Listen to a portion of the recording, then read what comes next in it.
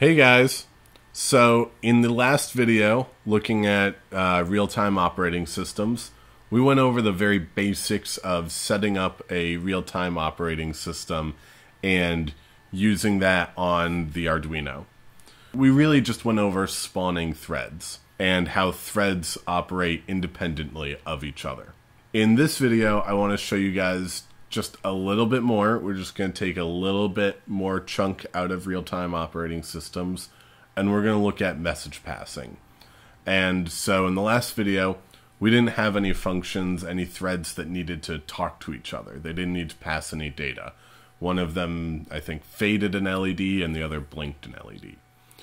In this program, we, we're going to have two threads that one of them sends a message to the other one, and that second thread prints that message out to the serial line. Still very simple, pretty pointless program, but it gets the fundamentals of how message passing works. Now, before we really get into it, I, I do want to say that there are multiple ways of handling uh, passing data around. One is through what we're going to look at today synchronous messages. The second way is through mailboxes. So, mailboxes are basically where you can create a mailbox for a thread, and other threads can just throw messages, throw mail into that box, but there's no synchronicity. So, all the messages just kind of go and collect into that box, and the receiving thread can just read them those messages at will. Today we're going to look at messages that where one thread sends that message and another th- and the other thread has to act upon that message before the first the sending thread can proceed. Now, there is one other way of handling data passed between functions, between threads, and that's to create just global variables like you would with any other Arduino program. And that there is a time and a place for that, but when you're working with an operating system where threads are jumping between each other, where the operating system is, you know, preempting one thread and and chopping one thread off and letting another run, if let's say you have a, a counter variable, global data can get mishandled and sometimes you can get corrupted data because one thread might be modifying that data right when the operating system cuts it off and gives time to another thread to run. So that is a, another way of handling data passed between uh, threads, but you do have to be kind of careful with how you do it. And I will talk about that in a future video. But just to let you guys know, if you're starting out, if you've if you watched my last video and you've been trying things out, that global variables can definitely start to screw things up uh, if multiple threads need to use that data at once. But moving on, today we're going to look at synchronous messages. So, as you can see up at the top, it looks fairly similar to what we had in the last program. I have a bunch of thread working areas, thread 2, 3, and then an HB thread. Now, that HB thread is a heartbeat thread on a real time operating system like this, a seg fault basically means the whole thing is crashed. And sometimes it can be really hard to tell initially whether your program is crashed or whether there's just sort of a hung loop somewhere. So I have a heartbeat thread here that just pulses an LED on and off, kind of in a heartbeat pattern, a bump bump bump bump kind of pattern. And I know that if that LED stops blinking in that pattern, something has gone wrong and I've probably done something equivalent to a seg fault or buffer overflow or you, know basically I've crashed the computer. So that's what this third function is here. Now we also have these thread T pointers and these are our pointers that will eventually point to our threads because when we're sending messages back and forth we're sending that message to a specific thread. And one thread needs to know how to reference another thread. So we have these global thread pointers here. And yes, I know I just got done saying that global variables are bad, Well, in this case, I'm only ever using those as references. I'm not going to be modifying them or changing them or anything like that. So I think I'm okay there. So getting down into it, we have our setup function, our regular Arduino setup function, and that creates uh, starts the serial line because we're actually going to be printing things out today. And then we run our ch begin, and this setup function here, we create three static threads. Two of them are our message threads, and the third one is our heartbeat. And our thread pointers are being set to the threads that we're creating. So now we have references to both of our message passing threads.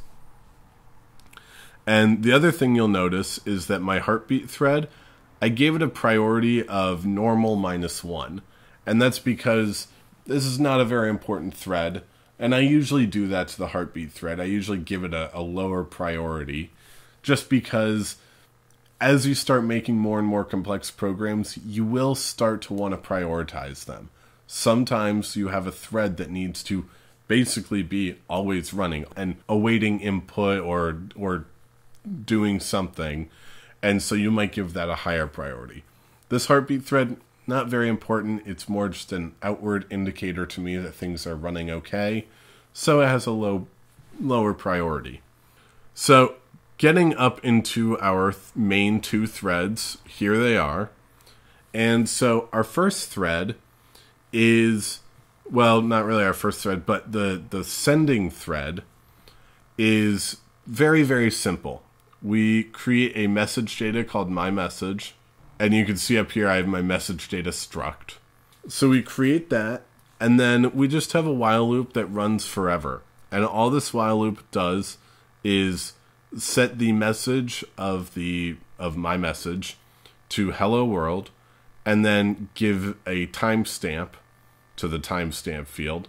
And I like to do timestamps on basically any kind of message I'm passing around just because it it's not that much overhead. I mean, if you have a million messages, I guess you might take out your timestamping, but it's not that much overhead and it is really useful to be able to check when a message was sent versus when it was received and you know it just it becomes useful in more complex programs. So then i just package that up. I have that in my the my or in the message data struct and i send that to the thread 2 pointer which points to this function this thread up here. I do apologize that i keep saying functions because i just see thread function. These are threads they're running in a function, but they're independent threads not being called by each other. So when you send a message, you, you give it a pointer and then you pass whatever your message is as a message type pointer. So I've referenced the my message and I'm casting that as a message t pointer. So I'm going to pass that, or I'm going to send this message here to this thread here. Now, at that point, right at this line here, this thread now goes to sleep. It stops running. And this is where the synchronicity of messages comes into play is when you send a message, it puts that thread to sleep until the receiving thread tells it, okay, I'm done. I'm, I'm done with this message now. So that's where the synchronicity versus asynchronous messages come into play. Is the asynchronous messages, mailboxes, you can just send 30 messages out and the receiving thread can deal with them whenever it wants, and the sending thread can continue doing whatever it wants to do.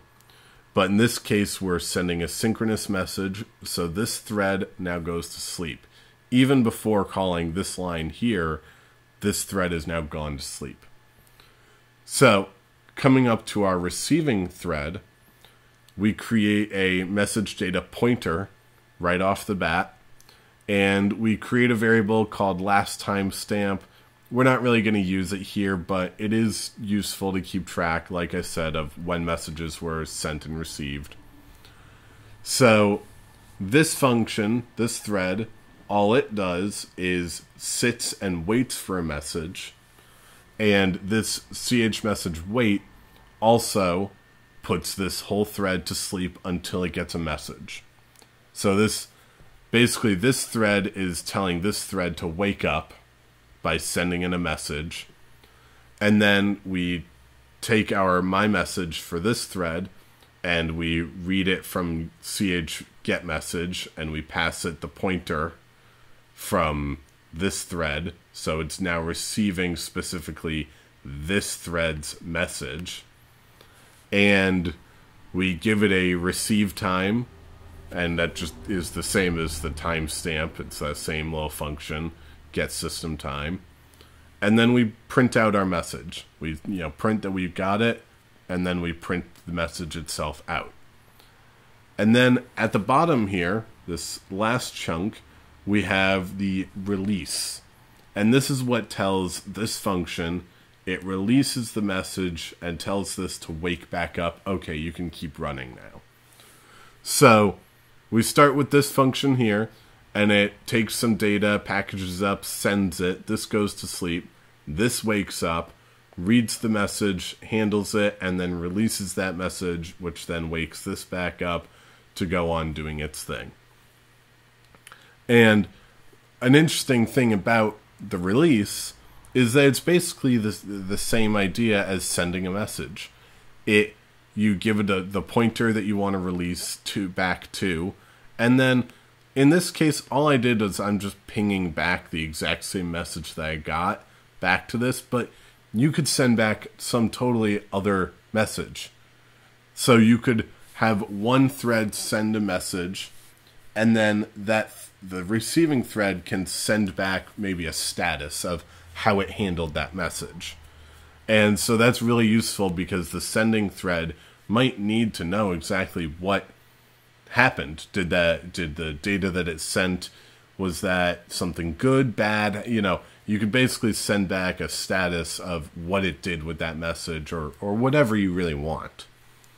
And then we just give it another last timestamp is equal to the my message timestamp, uh, which was what we, you know, the met the timestamp that we set down here. So this is a very simple pretty useless program, but it does explain how threads pass data between each other in a synchronous manner. So now we can go and go to our Arduino program and take a look at it running. So I'll upload it. All right, there we go. And we open up serial monitor and we can see message received, hello world, and it does that every 100 milliseconds because in the sending thread after it's gotten its release it sleeps for 100 milliseconds. Again it goes back to sleep for 100 milliseconds and then starts that process all over. So you can see the hello world is coming from the sending thread. So we've successfully here sent a message from one thread to another and we have communication. So that's about all that I wanted to talk about for this edition of ChibiOS. If you like these videos, definitely go check out some of the other videos on the channel. If you want to learn more about ChibiOS and real-time operating systems, definitely subscribe to the channel. The past couple weeks I've been on vacation, so my videos have been a bit slower, but I try to put some videos out, at least one or two every week. So check back every week, and hopefully, I'm going to keep putting out more real time OS videos because I think it's something that a lot of people don't really get exposed to for a really long time. And honestly, there's it's not that complicated. Once you have the basics of Arduino and programming down, real time OSs are pretty easy to work with. So, anyways, thanks for watching. I'll see you guys next time.